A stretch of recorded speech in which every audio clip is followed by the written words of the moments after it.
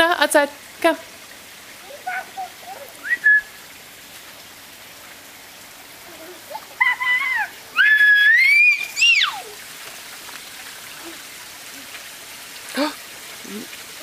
Yeah, lidt hak Careful.